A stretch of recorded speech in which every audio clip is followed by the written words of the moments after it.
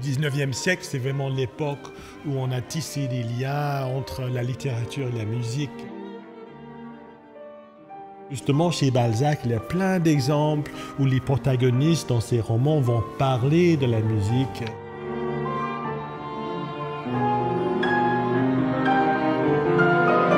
Les gens sont souvent surpris que ces compositeurs et les écrivains se connaissaient et se rencontraient dans des lieux. Ça aurait, été, ça aurait été fascinant d'être là, non? Vraiment. Moi, j'aurais aimé être là en tant qu'observatrice, juste, juste voir comment ça devait se passer. De quoi devait-il parler, mm. échanger?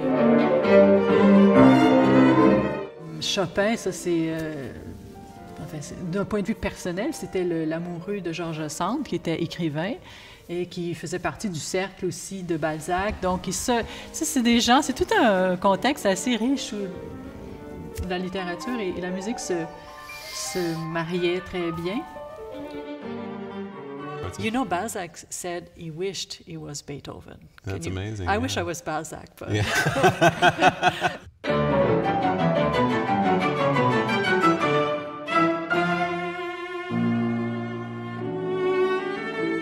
Et que faisait Beethoven dans tout ça?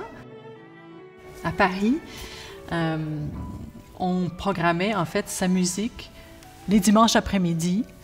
Euh, on jouait peut-être des extraits de sa musique entre des airs d'opéra pour essayer d'amadouer un peu le public. Euh, parce qu'on considérait que sa musique était difficile à écouter, un peu comme aujourd'hui en musique contemporaine. On considérait qu'il fallait l'écouter plusieurs fois pour vraiment l'apprécier.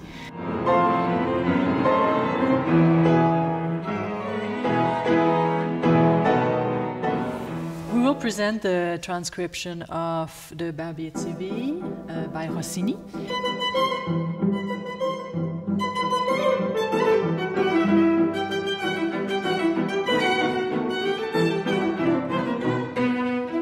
It was written by uh, a French composer, a romantic French composer called uh, Renaud de Villebac.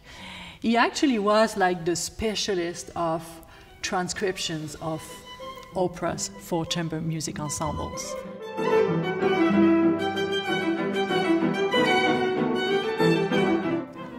So Balzac and Rossini were pretty close, I think. They actually went to the opera together, didn't they? They were they were close friends.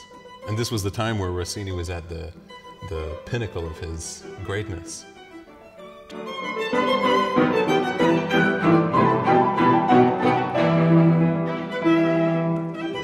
Interesting because in the in the salon de Balzac, we had such a mixture of people who were who did all all sorts of different uh, types of art. And uh, the piece that we were going to play by Mark Hyland, Les Chants du Cygne. Hyland is uh, a composer, a painter.